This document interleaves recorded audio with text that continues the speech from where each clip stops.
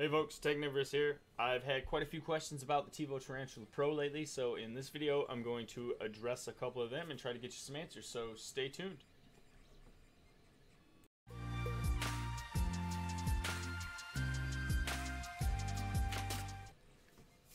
Alright, so this is the GitHub page for all my Cura profiles. I will leave this link in the description down below. It will be at the very top of the description. You can go ahead and just click on that. And as you can see, if you scroll through here, you will find at the bottom my Tevo Tarantula Pro PLA Cura profile. So if you're using the T Pro, that's the one that you want. I do have a ton of other stuff in here for the Ender 3. And to be honest, I end up using the Ender 3 stuff as a base for most of my profiles because if you look at the three main printers I use, they are all basically the same size and of Cartesian design, so it ends up being a great starting point. However, this is a little bit more dialed in for the Tevo Tarantula Pro itself, so I definitely recommend starting there. Alright, so firstly, I've had a few people asking about my Tevo Tarantula profile. I had done a video in Cura a while back where I'd set up my Tevo printer, and I had mentioned that I would get the Tevo Tarantula Pro profile up onto my GitHub. So uh, let me get that for you right now. The other question that we've been receiving a lot lately has been about ABS printing on the Tevo Tarantula Pro, and I can tell you I haven't yet done it. I know the hot end doesn't quite go as hot as the Ender 3's does. It gets close, and it should be able to print it without any problems. I can also tell you though that it is a open frame machine, just like the rest of these, which means that you don't have an enclosed space to print in. That doesn't make it impossible. A lot of people just put a box over the printer to keep the hot air trapped inside, but Cura does have a special setting for this, and I'll show it to you. So here we are in Cura. As you can see, I've scrolled down to my experimental settings. If you don't have this showing, you're going to need to activate it. What you want to do is click on that little cogwheel there and type in draft shield. Now I already have mine checked, so you know it's going to pop up.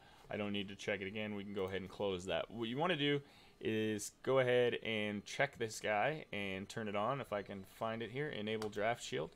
And basically uh, the three main things I can tell you about printing ABS are pay attention to the temperature of the bed and pay attention to the temperature of the filament. Both of these are listed on your filament package.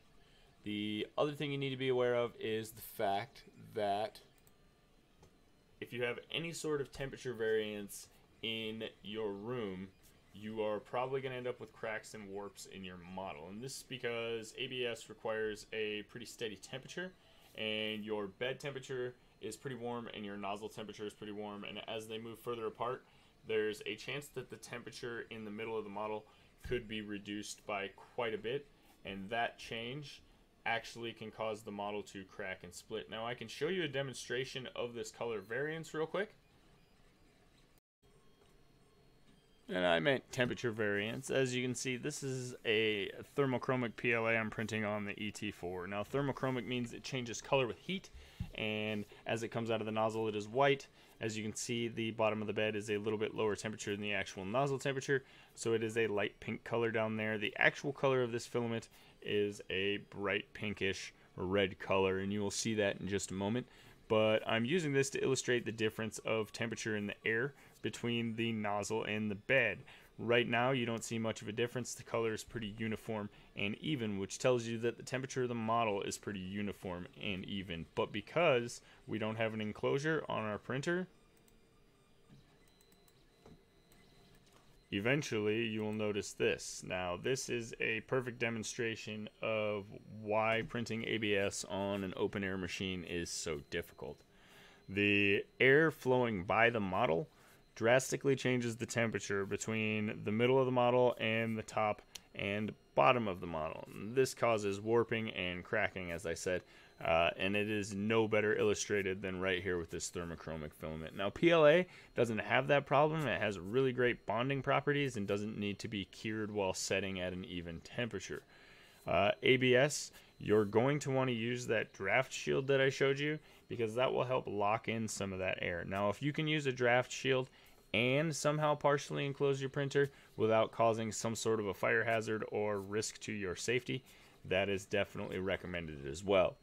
As I said, I don't have a video for doing ABS directly on the Tevo Tarantula Pro, but I am working on it and I will get it out to you shortly. For now, though, my best advice is to make sure that you have that draft shield on and that you are printing in as enclosed of a space as possible in order to reduce airflow and cooling of the model, which can cause your model to break. Now, all of that said, I have gotten some wonderful models off of the Ender 3 Pro here in ABS. It just takes a little bit of doing and a little bit of dialing in the settings, making sure maybe you don't have your air conditioner on or you don't have a fan blowing nearby. Simple things like that. And definitely use that draft shield. I can put a video link up here for my Ender 3 ABS video, which I also plan to update. It is a little bit old and I have changed a few of my tactics since then, but the premise is basically the same and it should help you on your way. As always, this channel is brought to you by these fine Patreon supporters. If you'd like to support the channel on Patreon, head over to www.patreon.com slash technivorous. That's going to be it for this video. As always, I am Technivorous, and thanks for watching. Don't forget to check out our main channel page where we do a free giveaway for our subscribers every month. So far, we've given away things like a Capricorn PTFE tubing kit and spools of filament. So the giveaway videos are always pinned to our main channel page. So all you have to do is subscribe and leave a comment on the giveaway video for the current contest. Feel free to check out this video right here. YouTube picked it from my content just for you. And if you haven't already, you can hit the subscribe button right here. So what are you waiting for? Become a Technivore now. Thanks again. Technivorous out.